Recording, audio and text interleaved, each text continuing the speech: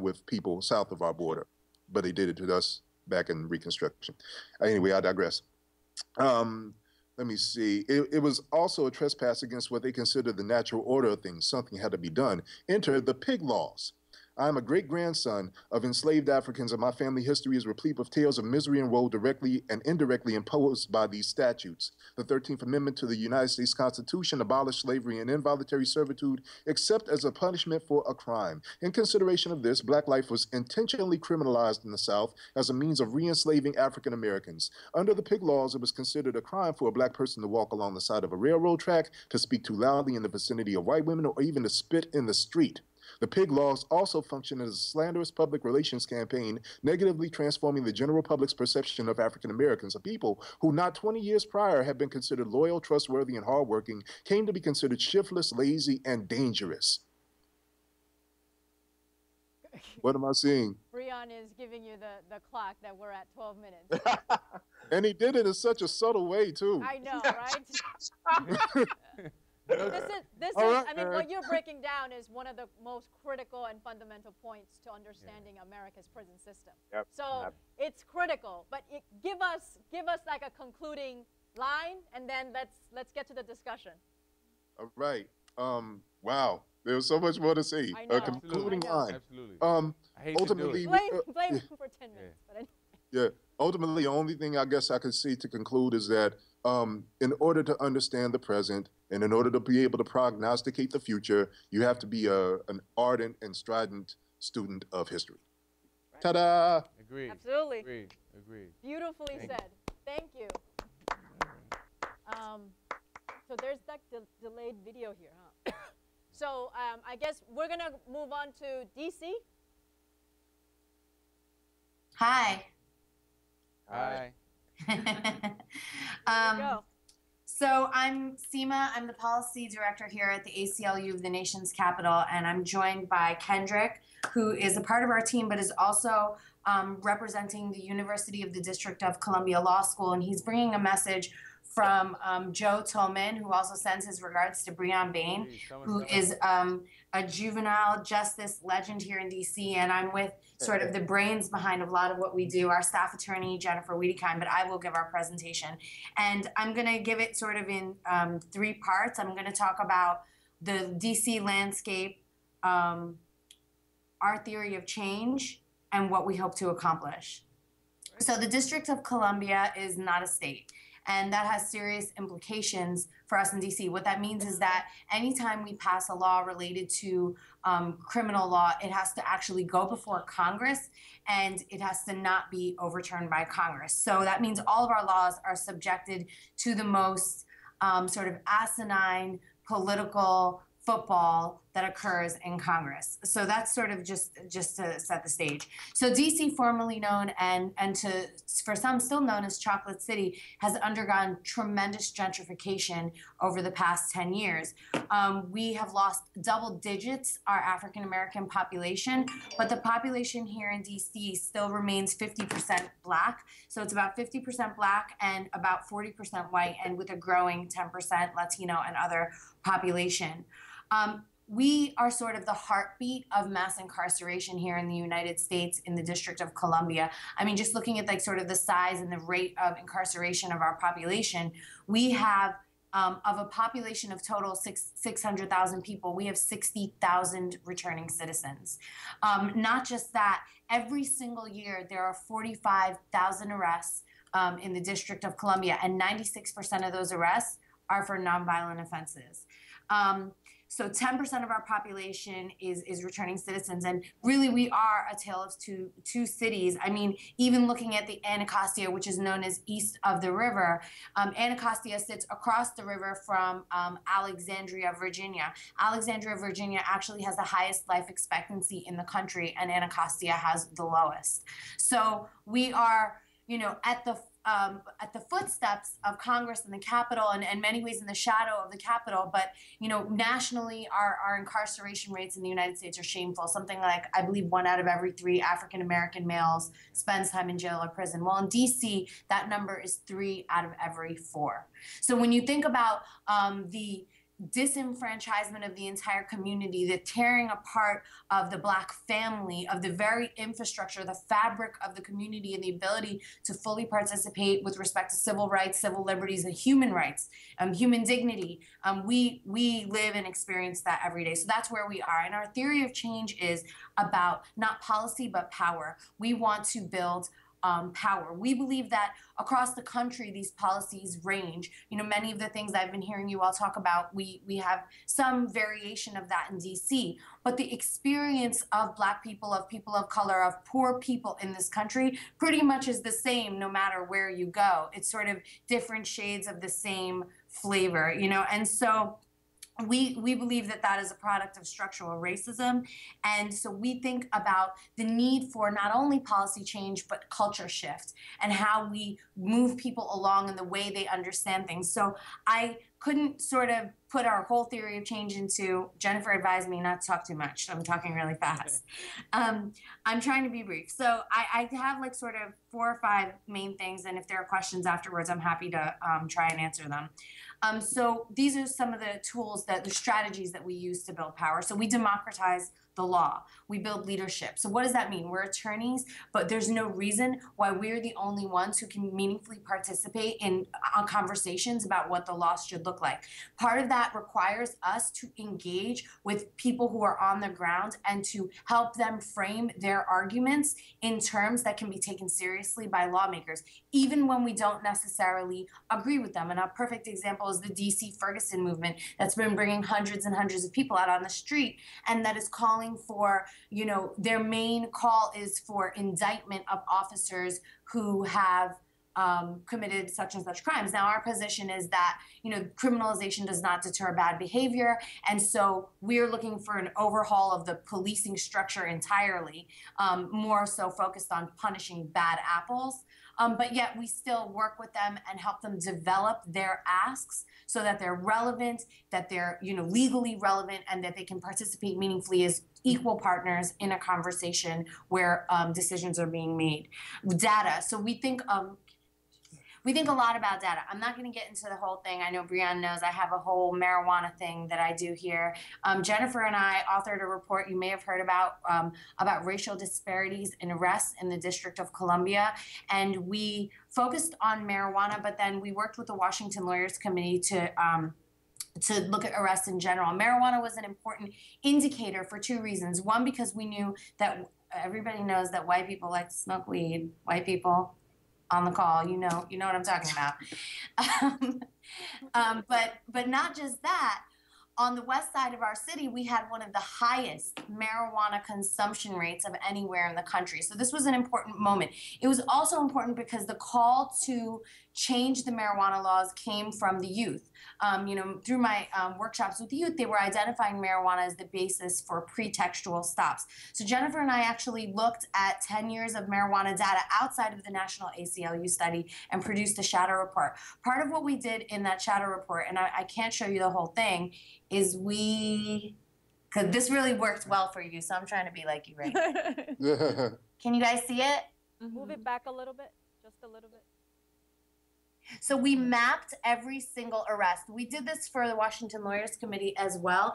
And one of the things we know is that sometimes people are unwilling to at first address issues of race and talking about space, spatial and geographic um, um, discrimination was an important way to begin the conversation. But let me be clear when we talk about discrimination or, and subjugation of Black people under the law, we call it exactly what it is. But we needed to present it in a way to bring everybody to the table. And that's what this did. So this we we use these um, as people are doing all across the country, and I know Chicago has done similar things as well in looking at sort of spatial discrimination. Um, I'm going to keep going, but I'm going to say we never stop with the data. This is one of the reports we released right now. Jennifer um, and I, and Jennifer really taking the lead, is looking at two and a half years of warrants. So looking at the ways in which policing of communities extends into the Black home. And I say black because really that in DC, that's what we're talking about versus other communities that have more sort of integrated and, and other um, communities in, in greater percentages. But we continue that data. When the um, public officials came back and said, no, black people consume marijuana outside, that's why they're getting arrested, we actually went back and looked at how many minutes do I have? Uh, three. Oh my God. we. Remember, we have discussion part coming up. Okay, okay. We looked. Okay, you don't need to do all that. I got you. We looked, we looked at um, you know, so we continue. We every time there's you know an argument, we go back to the data. We try to prove what's right and what's wrong, and and to frame the conversation as we move. We we build coalition. We just came out with ten Baptist um, ministers and their faith-based organizations calling for an end to marijuana prohibition and for reparations. We try to reframe the discussion instead of a conversation that pits victims against so-called offenders. We've identified that the victims of most crimes are young black men, and that our public safety techniques need to make people feel safe. And that includes the community that is largely victimized by crime, that is black men. So if black men feel safe, public safety is failing. We think a lot about metrics. How do you measure and how do metrics create incentives for behavior? Um, you know, just a couple more things. Bear with me. So this year we um, we were not the first to decriminalize marijuana, but we were the first in the country to move decriminalization on the basis of racial justice. And I can talk more about it later how our bill reflected racial justice principles. We also just um, legalized marijuana in DC last week. And so, what that was, was um, racial justice. We put racial justice on the ballot. Before our report, the support for marijuana was well under the national 50%. In fact, in the black community, support for marijuana reform was at 37%. We moved legalization in the district with a margin of 70%. So that is a consensus we put racial justice on the ballot and we won here in DC. We moved the conversation, we changed the, what the whole conversation is about. But we recognize that the question of racial justice is not just a question of, of criminal law, it's a question of economic justice. So as we move towards legalization in the district, we're moving for reparations, reinvestment, self determination, and opportunities for collective ownership. We involve the young men who have been criminalized and who are distributing marijuana illegally in the conversations about what our future marijuana economy should look like. And we look beyond capitalist models of individual ownership and try to imagine different ways in which the law can provide opportunities for full participation. Finally, we have our prisoners, unlike other places, all of our prisoners are sent across the countries. That places you it's almost like people are dropped out of helicopters when they come home, returning citizens. We're trying to bring our prisoners home. It may not be this year, it may not be next year. Some of you may have heard the ACLU just received $50 million to decarcerate. So it's not a question of you know, um, if it's just a question of when. We're bringing home between 50 and 80 percent of our prisoners in the next five to eight years, and um, we are going to push out the private prisons here in DC. One point I want to share with folks before I close up is that GEO. Um, is anticipating, you know, GEO and CCA, the two major prison corporations. GEO is anticipating the fact that we are um, decarcerating, and they actually have a subsidiary company called GEO Cares, a company which is now making major investment in supervised release. So wow. we are going to decarcerate, but the but the battle for justice and equality is not over there. And maybe in the question session you can present some That's of right. the. My God. That was a job, Nima, in 11 minutes and 36 seconds. So thank you. Thank you, everyone. This is this is incredible. I feel like my brain just kind of expanded. and, and the fire in my heart. Are we muted? No, I am muted. Yeah, can I ask a question really quickly to DC? We got kicked off real um, quickly, and you were just about to say what happened when you went looked at the data going into the homes, and and, and we missed that. When so you said that we're actually um, we started out trying to look at militarization of the police in DC. We started by looking at warrants being executed by SWAT. We this was about a year ago. Um, Jennifer and I quickly realized that it was much deeper than that, and so we've obtained what is probably going to be the first ever really full scale look at how warrants period are effectuated. So we're looking at you know over 10,000 pages of documents the affidavits the, the the interactions that result in the warrants whose homes are being raided. And it, what it what this is doing is showing that the war on drugs really impacts more than the people who come in direct contact because of their so-called criminal activity. This is something that's impacting, you know, families and particularly women and children and mothers and grandmothers and wives and and so this is like affecting ability for housing and all the collateral consequences. So um, this study isn't um, come out yet. I think we need a couple more weeks or months. thank you. Thank you. All right. So, um, so we're gonna bring this into Q and A. Um, we have New York left, um, which is also going to fall on me because actually our executive director, who was supposed to present, he's stuck at another meeting. In the video. Oh, uh, and the video. Um, so. Um, so I want to say kind of a few things, and then I want to bring this into discussion. I'm going to change kind of the New York presentation a little bit because I want to try to kind of integrate what everyone said. Um, in that light, I want to present some kind of, I guess, theory of change, our kind of philosophy and our kind of operational methodology um, that I have been, um, I feel like it has been uh, confirmed when what everyone else has talked about. For us in New York, the, rep, uh, the organization I'm speaking on behalf of is the Center for NuLeadership on Urban Solutions, which is the nation's first and only um, public policy think tank training advocacy organization founded and developed by formerly incarcerated leaders. Um, it was, and I'm going to share this because it gets to the main point that um, I'm going to get to. It really started out with, um, in the 70s, a study that was authored inside a prison in New York State called Greenhaven um, Correctional Facility, where there was a think tank group called Greenhaven Think Tank. And, and one of the major studies that they did that has now had repercussions all the way through here, which also relates to the mapping um, project that Seema talked about, was they started to write about and they did a mapping project of where everyone in prison came from. And this is a phenomenon that is true all across the country in the US. In the 70s, they discovered that 75% of people locked up in upstate New York, because New York's prisons are all located in upstate New York, not in New York City, come from, the vast majority of people locked up in New York State prisons, 75% come from seven neighborhoods in New York City. Mm. Right? So you're telling me that those seven neighborhoods houses all the criminals in New York State prison, right? So you start thinking about that, and that's what actually gave the genesis of a lot of the thinking and foundation for Center for NuLeadership, which is this. By the way, the seven neighborhoods back in the 70s, the same ne seven neighborhoods supply the prison population right now in 2014. This phenomenon exists in every single state in the US. And I'm sure Chicago can attest to that. I'm sure Houston can attest to that. The seven neighborhoods might change from 10 to, actually for us, it's now 15. But what that talks about is, here's one line that we talk about. Prison industrial complex, as we call it, with the US prison population of 2 million, and of course, 8 million people under the supervision of some kind of criminal justice supervision. That's like the scope and scale of the US prison system. Prison industrial complex is about everything else but prisons for us, when we talk about prison reform or criminal justice reform, for us it's about community development, right? Starving the beast.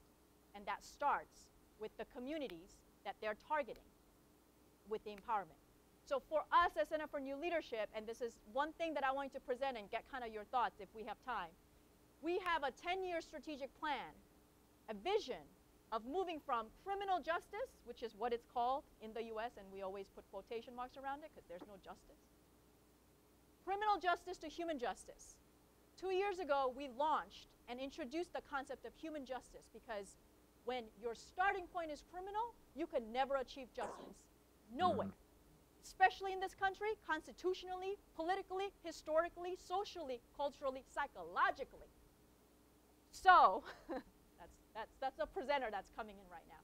So for us, the concept of human justice that we want all of our allies to give us feedback on, we have a formula for it, which is human rights plus human development equals human justice. The idea here is that we have to fight for our human rights, but we cannot stop there. In many ways, that's regressive, right?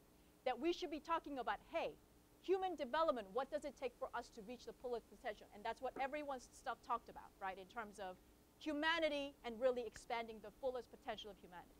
So with that, and, and I can say a lot about New York, and, and the last thing that I would say is this. New York City, that's like the, the, the capital of multicultural center. If you go into a juvenile detention facility, all, we have three juvenile detention facilities. When I say juvenile, it's under 16, because in New York State, if you're 16, you're automatically considered an adult in the criminal justice system. They're trying to change that right now, but it's a long story. And for in New York City, New York State, 13, 14, 15 year olds are automatically tried as adults if they commit one of 16 what they call violent felonies. Mm -hmm. And vast majority of those youth, you know what they're charged with? Robbery. Mm -hmm. Robbery is taking place in group settings.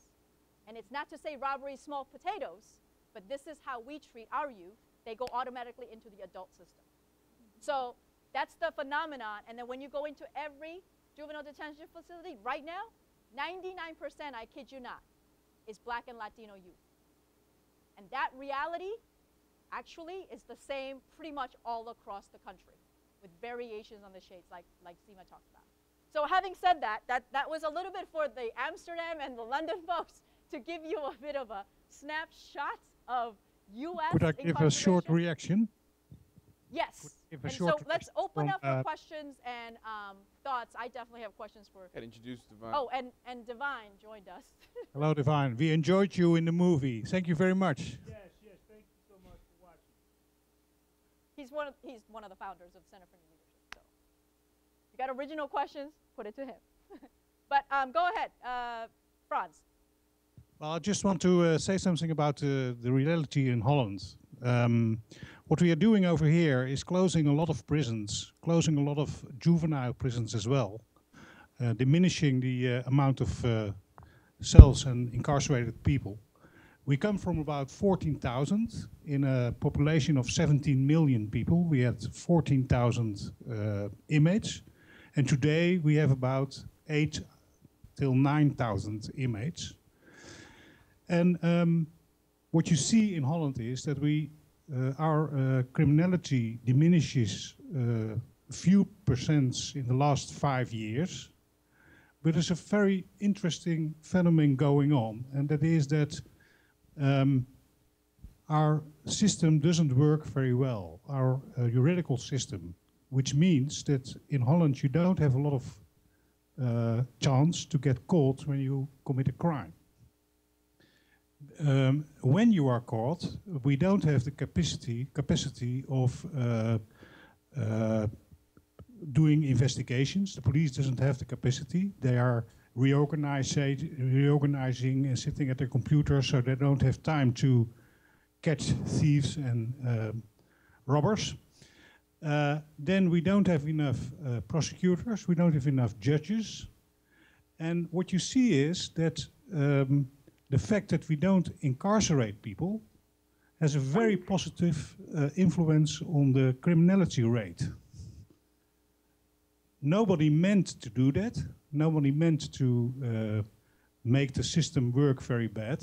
But because of the fact that the system works bad, our criminality rate lowers because when you put people into the system and you lock them up, you get more criminality. You understand yes. what I mean? No, I, it's it's it's it's amazing hearing it from Amsterdam, whose whose whose size of prison population I, I'm still in disbelief just compared to what it is here.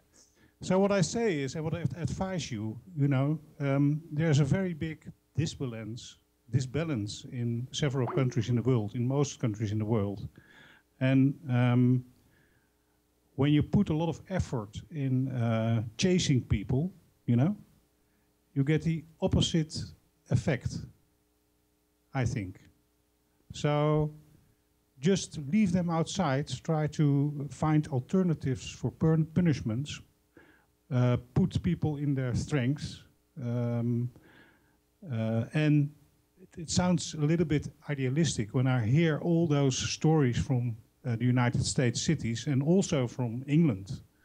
Um, but come to Holland and you can see that uh, it's possible to do it in a different way.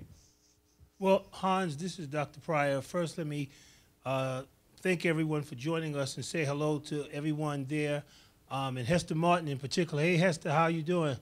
Yeah, it's good to see you. She's an extraordinary young woman. Uh, and having visited uh, Holland and Amsterdam uh, and London, I kind of have an idea what you're talking about.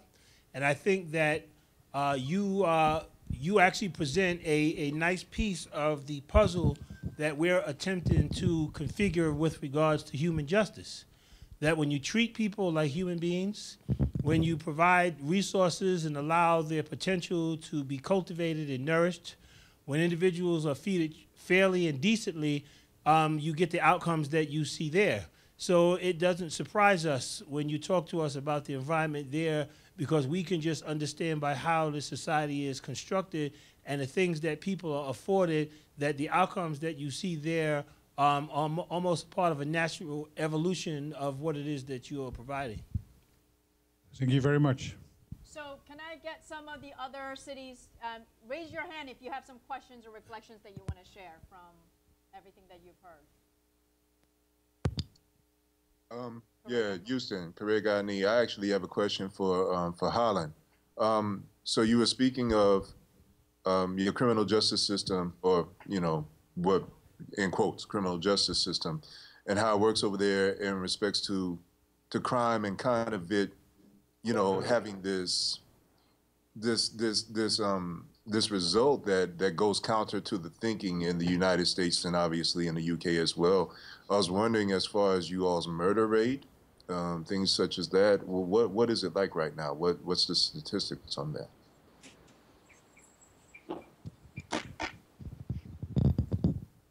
The murder rate in Holland. Um, yes. I don't, I don't know the rate uh, by heart. I don't know the rate by heart. I know that the murder rate in general doesn't differ very much over the years. It, okay. uh, 14 persons, 12 to 14 persons in Amsterdam are here over here. And there are uh, three quarters of a million people living there. I'm sorry, you said how many a year? three quarters of a million people living in, in uh, Amsterdam, oh. and there are 12 uh, killings, 12 murders. Uh, can, I, can I just say something? Can you guys hear me? Yes. Right. Seema's going to jump in. One, one of the things in DC um, that's been, you know, and I'm sure all across the United States, that's used to justify the type of police contacts and interface is the high rate of violent crime, particularly in black communities, to, to explain the over policing. And that's why the, I, I really led this conversation on DC with this statistic that 96% of our police arrests are for nonviolent offenses. Because I think it's important to understand that of, of about 45,000 arrests every year, what is it? I'm not good at math. It's like 42,000 um, of those arrests are for nonviolent offenses. And that doesn't make our community safer. So if if we were to take out those 42,000 arrests and we were remain with what 3,000 arrests, then we could start to really think about whether or not what those arrests were leading to, et cetera, et cetera. But I think that um, I think that we need to change that narrative is what I'm trying to say. I think we need to change.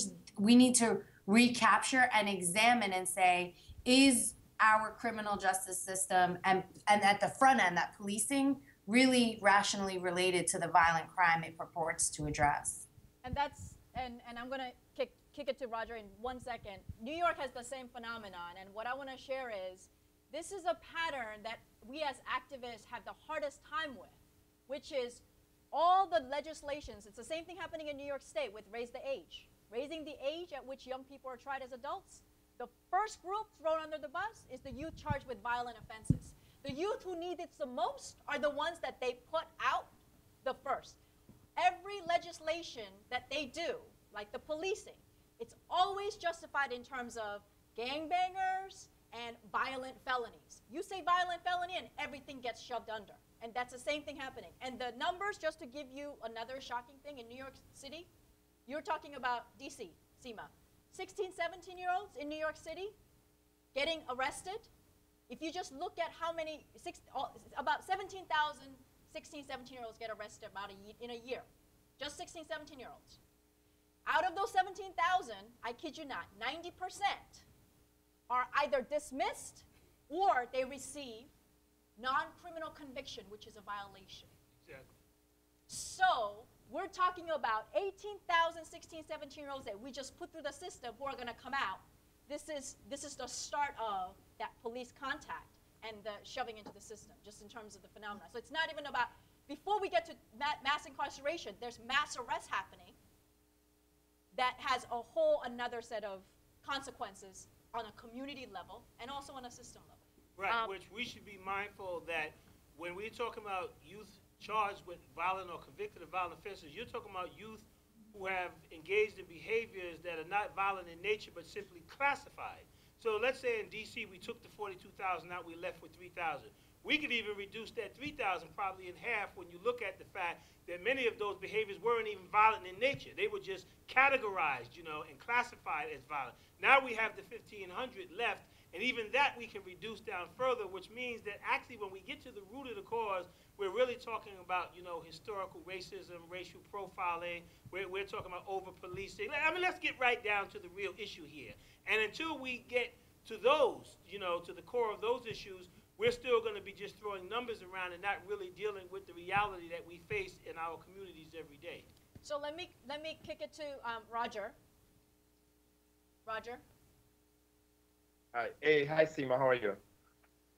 Um, uh, what the, all this stuff you just presented is it available uh, anywhere, like in a, a document or anything like that?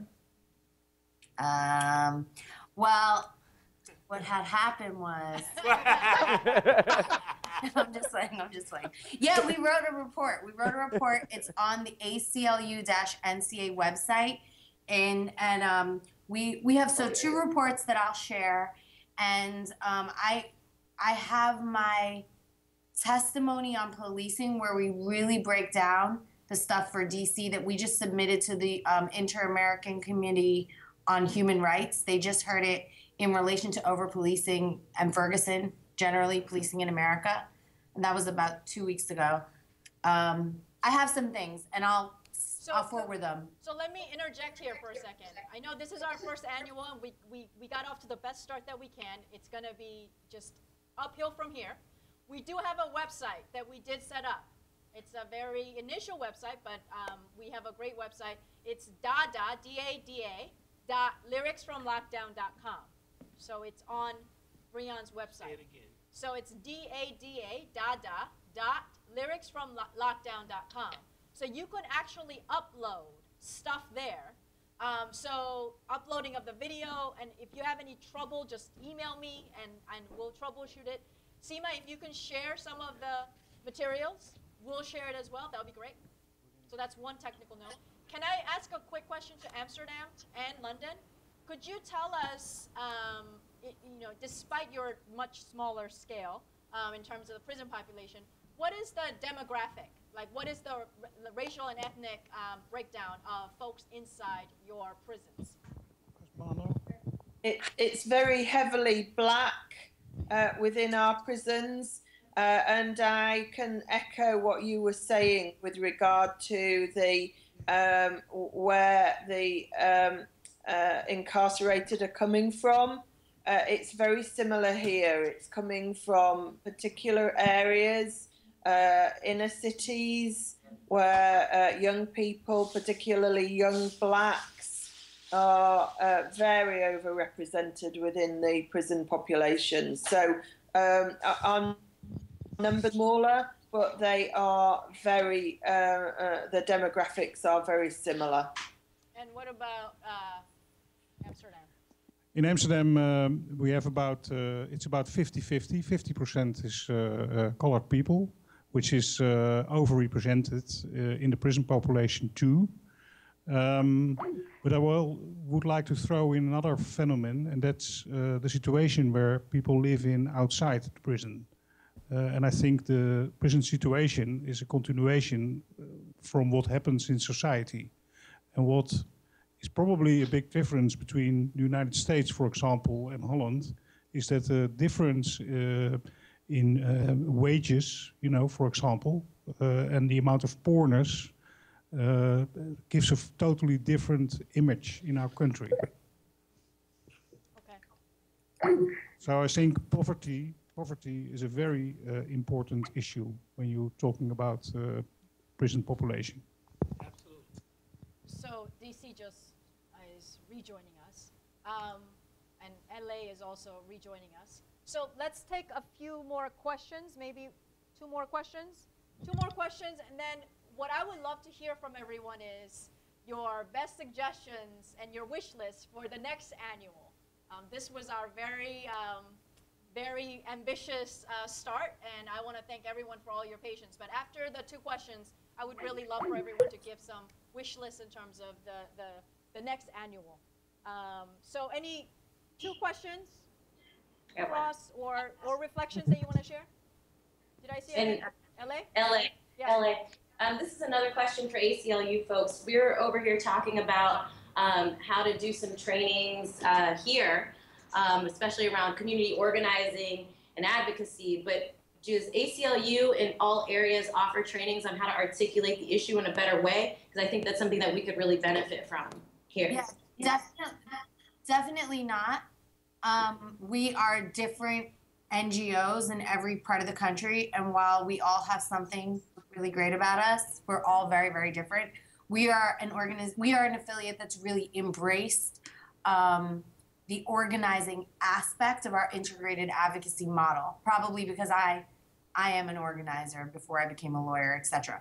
That being said, you know, I take a, I've known Briam for a long time. So one of the things we did, for example, when we looked at um, Know Your Rights, we did it through the second verse of Jay Z's 99 Problems. And we taught everything you need to know about the Fourth, Fifth, and Sixth Amendment. And I know when I was with the People's Institute in New Orleans, we used to use um, Lil Wayne's mixtape at the time. That was a long time ago when he had a mixtape out there.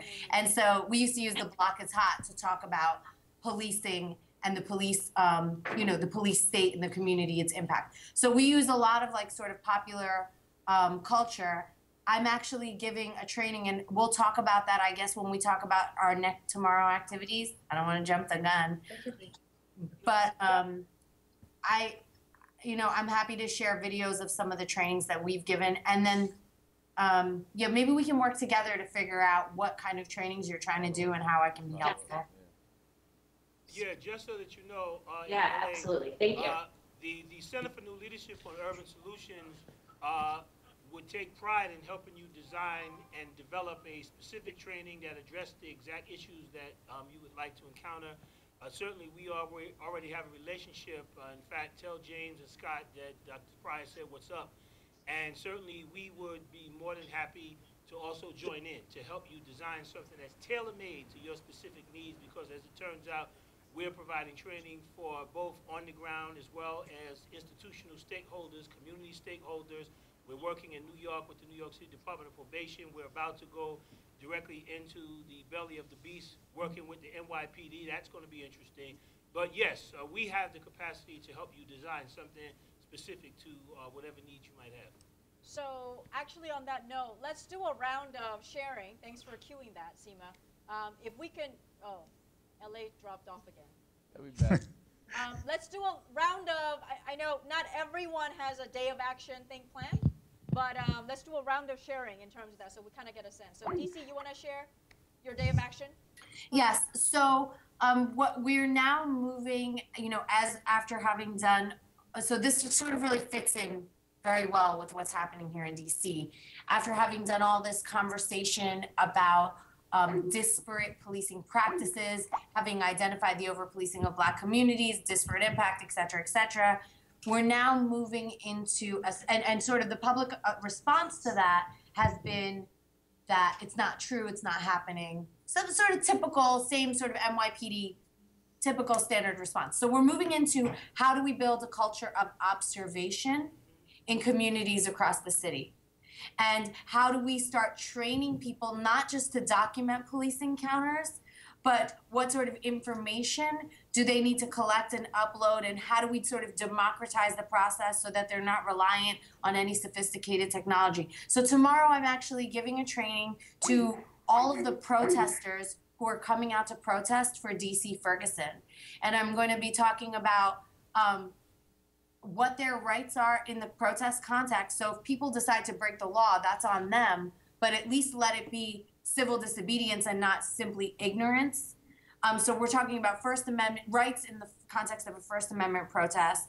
We're talking about um, um, how to record the police and how to be a legal observer. And I'm happy to have that training recorded and upload it if that's helpful that to would be folks. great.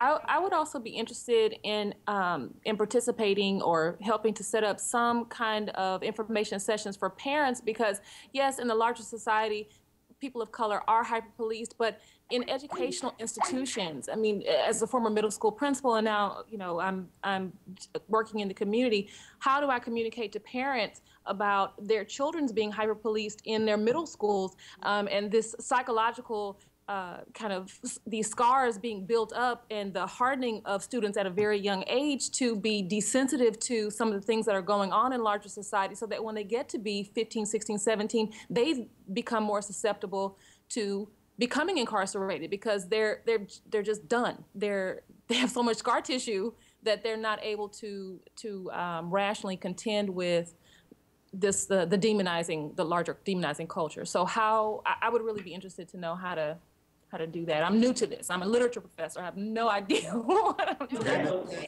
in, in tandem with that, um, in tandem with that, we were discussing offline how, um, you know, as as Brother Bonaire Agard was was mentioning the um, the youth and how their their self-propelled way of looking at the movement that it is you know all right the the older generation you gray hair people you did what you did and it didn't work. So we're going to go ahead and do it with our sagging pants and with our facial tattoos and with everything else that we've got going on we're going to take the reins on this. Um, I think that you know, along with, along with what Michonne was saying, we definitely have to have that dual approach. Uh, parents parents have to understand how their children are being targeted, and the children have to understand exactly how they're being targeted and what's and what traps there are out there for them. So here we are at an HBCU here in Texas, Texas Southern University, Texas Southern University, right here in Houston. Um, one of our one of our main things is to make sure that we're going to put out this message um, to to the student body here and to to area schools, just so they understand exactly what is being done to them. Mm-hmm. And furthermore, um, Doctor, and I, I, I, am sorry, I heard your name the first time in New York. Yes, Divine uh, Pryor, Dr. Divine Pryor. Doc, Dr. Pryor, um, what you were mentioning, I think, is so integral to the conversation. Often, when we're talking about um, the prison industrial complex, I think we fail to uh, we fail to actually deal with the brass tacks of what the end result is is is likely um, to be, which I, I, think is a permanent underclass that they're trying to to, to maintain. Um, the way in which this country was created is on the backs of people who were who were building it for free. Um, that's why you have a, a, profit motive associated with keeping the prisons full. Here in Texas, many of these small towns in the in the far-flung areas um, deal directly with the prison industry as their main source of income. So if people are no longer criminalized, then they no longer have jobs. So, it, so it's incumbent upon them to make sure that they keep us in jail so that they can keep on making their money. Like I said in, like I said in my presentation, CCA in 2013 made 1.7 billion dollars profit. There's something to be said for that, and I think that it's, it's, it's morally reprehensible for there to be a profit margin associated with something that is supposed to be um, kind of a social type of uh, policing mechanism, which is the so-called criminal justice system. So that's something we definitely need to deal with at its root. Um, I'm going to, so in terms of what you brought up, um, right now the, the best answer I have is uploading. I think up, I think we have it set up as well. Uploading questions and the, the suggestions that you have as well, I think would, um, I think between all of us, there's definitely resources. Um, so let's do that for now. And then um, we heard from DC in terms of day of action. Um, Chicago, day of action? Uh, we're not doing a day of action tomorrow because, of course, uh, of course, I'm here in Alexandria. Um, uh, but we do plan. We do plan on doing something uh, soon that will, that will correspond. Um, what we plan, we're planning to have happen is uh, have some of the uh, students' work be read by outside people in front of an audience, actors, etc., and have a discussion around what that work is and what that work represents, etc. Right. And if you get to record it, um, if you could yes. It, that'd be great as well. Absolutely. Um, Absolutely. And anyone else have any days of action planned? Yes. We have a day of action in uh, Amsterdam. Okay. Um, we have a, a very special uh, unit, experimental unit in uh, one of our prisons. Uh, it's a place where uh, very long-term sentenced prisoners, and amongst them real-life prisoners, uh, have their department without any staff. They have their own keys of the doors, and they are uh, self-supporting uh, on that department. And what we do uh, on Prison Action Day is that uh, our foundation uh, financed groceries for a big meal over there, and the inmates they are going to cook a very hot, a very nice meal. And uh, Hester and me and a few other people who are uh, present over here, they will go there, and we will have a nice meal from one to three tomorrow, and uh, discuss the outcomes of today with uh, with the guys. And um, we're really looking forward to, to that. And um, we are going to make a report on it, and it will be part of our contribution to your website as well. That would be wonderful.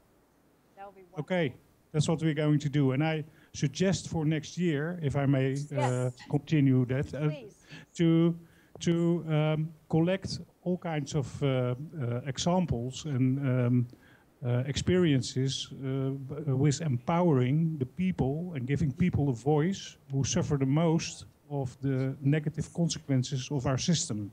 Um, like what Nanen did, uh, that example has to be followed, I think. And I think that we need examples of people in this uh, very uh, despair situation who are empowered to speak out and make a difference. I think that's very important to collect that.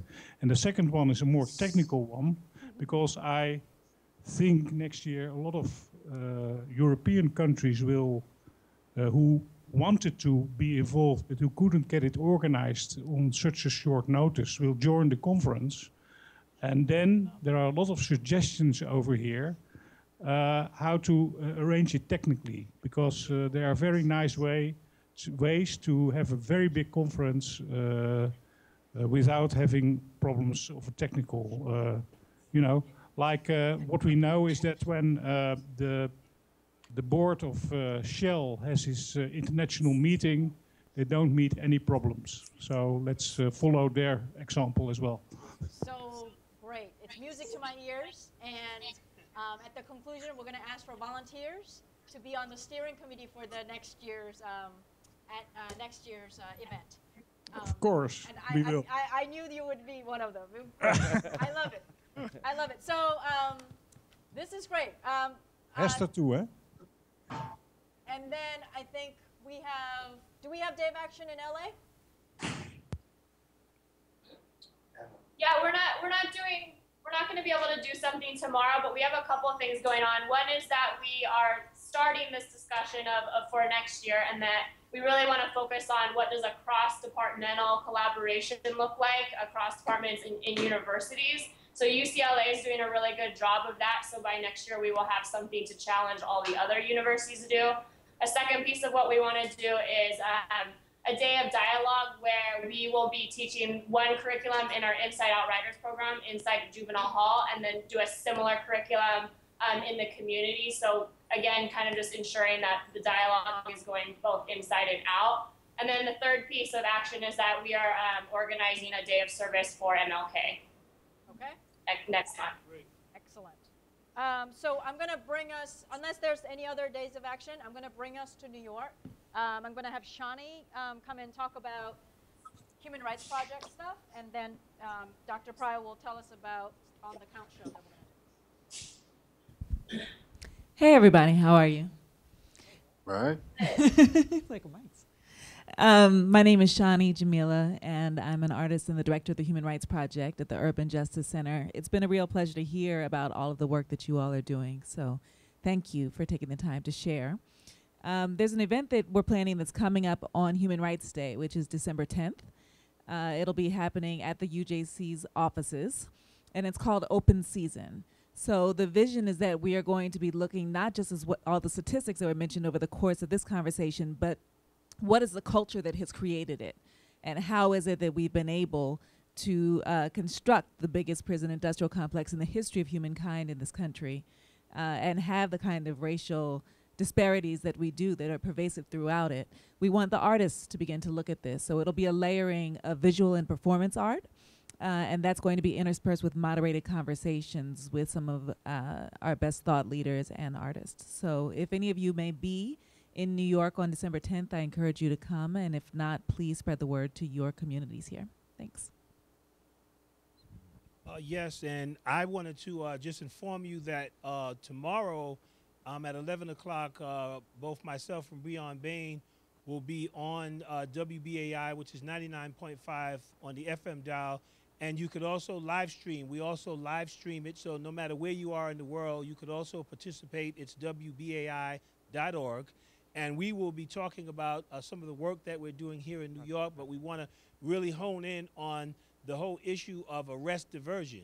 Uh, the, the fact that young people or anyone gets caught up in the system, even if you're only in the system for a few hours, has a lifetime impact on terms of your restrictions and limitations in your movement. A lot of times we look at mass incarceration, but I want you to know we live in an age of technology now.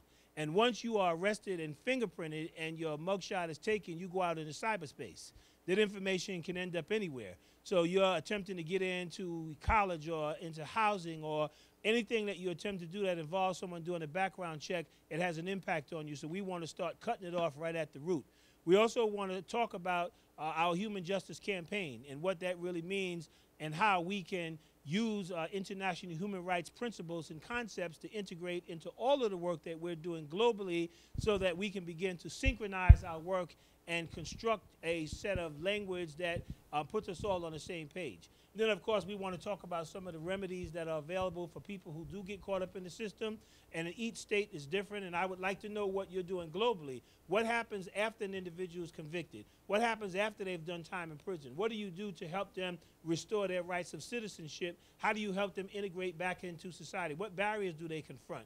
What are the legal and regulatory mechanisms that you have in place that help individuals be restored back to their humanity? How do they become citizens again? How are they able to fully operate in society? So we're going to talk about these things and much more in the one hour that we'll have. So we're, we're inviting you to tune in 99.5 on the FM dial, but you can also live stream it and it's WBAI.org. But thank you once again. This has been extraordinary, and I'm already excited about what the possibilities are for next year. Yes. Um, oh, okay. So I didn't realize I was going to be on camera, so I didn't get to prepare myself. But um, it's good to see everyone. I just wanted to uh, just quickly share um, a project uh, that's that's starting here in New York City that I want to invite everyone around the world to, to be a part of. Um, and it's called the Youth Justice um, Visioning Pro Project. And, um, and it's really about one question, which is uh, what will it take? Uh, what will it take? What will it take for us to eliminate um, detained, you know, secured facilities for young people in the next decade. I have a three-year-old nephew. Um, Ten years from now, he'll be 13. I want to make it absolutely inconceivable that uh, he would have to face um, doing time in a prison. Um, and I think it's possible. I think in other parts of the world, uh, we've been able to do that. Um, we need to eliminate it from our culture, even our even our you know our imagination. That, that that's the way that we treat our youth.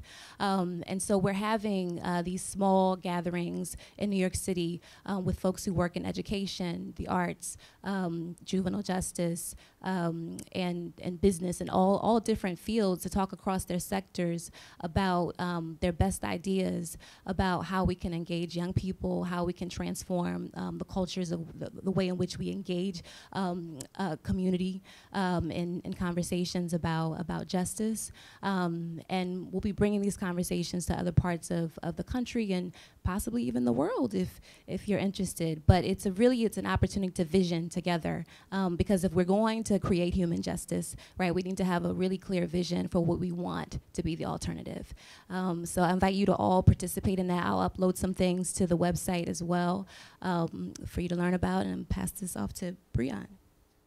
Thank you, Piper. So uh, I have the honor of introducing the closing video.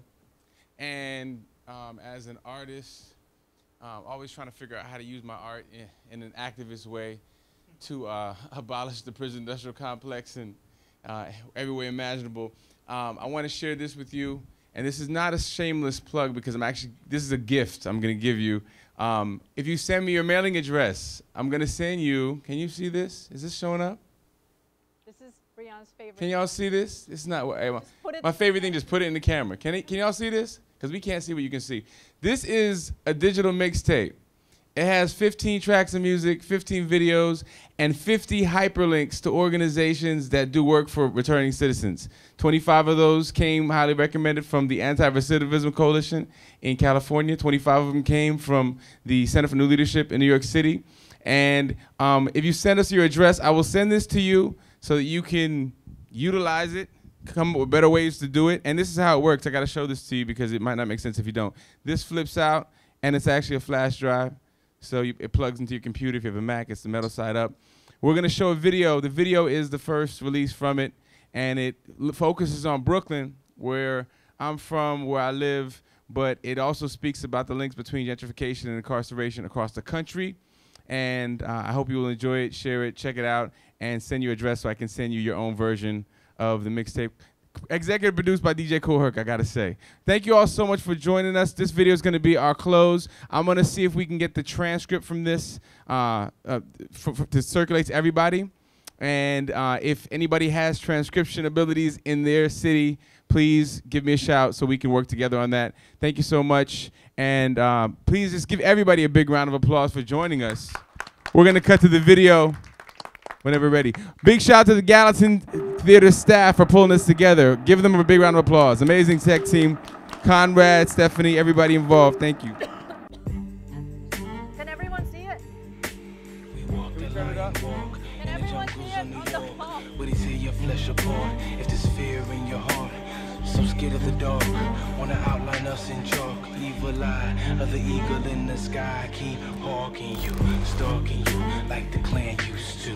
Tell me what the hell on earth a nigga supposed to do? Caged in like we living in the Brooklyn Zoo.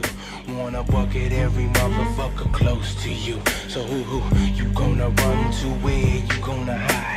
When the sun of the morning is on your hide. Said who you gonna run to? Where you gonna hide? Better holler at your fam if you wanna survive tonight.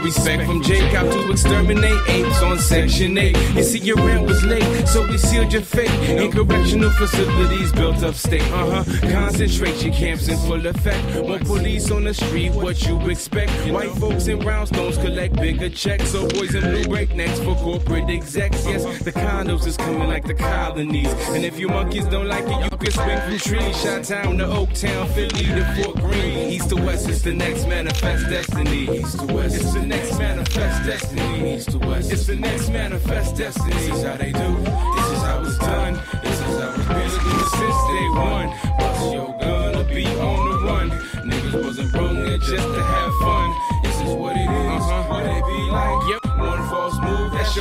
Tonight.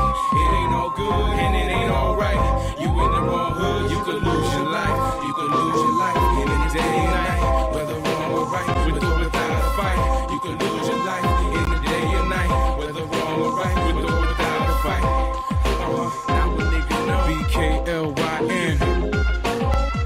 somebody Brooklyn, don't know. Uh-huh. Come on, let me find out. Now a nigga know how the natives felt. And getting whipped with a Bible belt. Move till the ice melt, now we can't come back. Them treaties we received didn't mention that. Now my home is stolen and your boat is swollen. Me and my village never volunteered to do no rowing. And where on earth we going? Who the hell? Why you watching my sister like her ass is glowing? Hell no, officer, you can't inspect my colon. We was just chilling here doing our own thing. Y'all came along claiming land for your king. Put a copyright on the song Canary sing. Started cutting off bones in the name of bling. Like ancestors from Texas to the West Indies. Shot town to Oaktown, Philly to Fort Greene. East to West is the next manifest destiny. East to West is the next manifest destiny. East to West is the next, East to West. Yeah, you know. East to West is the next manifest Bring it back destiny. one time. This is how it's done. This is how it's been this day one. Plus you're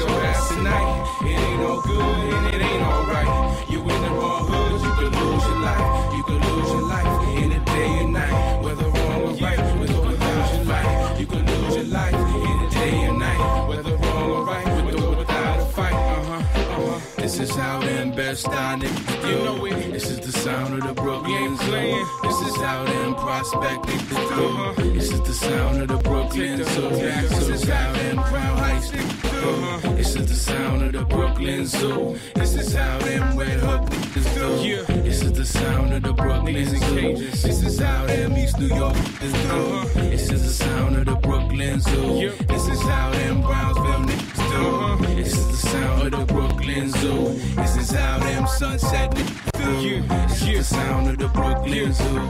This is how them Williamsburg do. This is the sound of the Brooklyn Zoo. This is how them Fort Greene niggas do. This is the sound of the Brooklyn Zoo. This is how them Clinton Hill niggas do. This is the sound of the Brooklyn Zoo. Yeah, yeah, yeah. BK, LYN.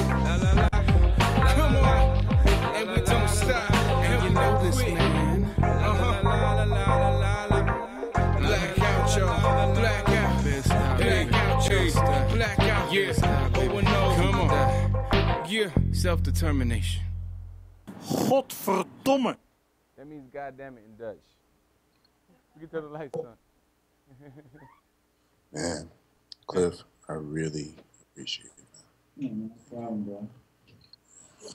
Thank y'all. You got a mic? Yeah. Thank y'all so much. Thank y'all. I have a mic here. Thank you, everybody. We look forward to everybody's updates. All right. Thank Be you. well. Peace. There was a cameo at the end by Franz, uh, all the way from Amsterdam. So hopefully this will lay the groundwork for many more collaborations to come. Take care, y'all. Peace. Peace. Peace. All right. Wow, we just did that. Thank y'all for coming. Thank you, everybody, for coming out. Kate. Oh, wow.